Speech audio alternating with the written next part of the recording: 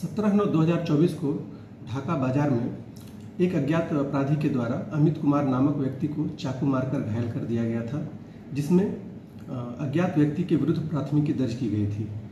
इस मामले का सफलतापूर्वक उद्भेदन करते हुए मुख्य आरोपी के सहयोगी सौरभ कुमार उर्फ़ बिट्टू को गिरफ़्तार किया गया है, साथ ही घटना में प्रयोग किया गया मोटरसाइकिल भी बरामद किया गया है। सौरभ कुमार के विरुद्ध इस घटना में संलिप्तता का पर्याप्त साक्ष्य है इस मामले में अन्य आरोपियों की गिरफ्तारी के लिए लगातार छापेमारी की जा रही है।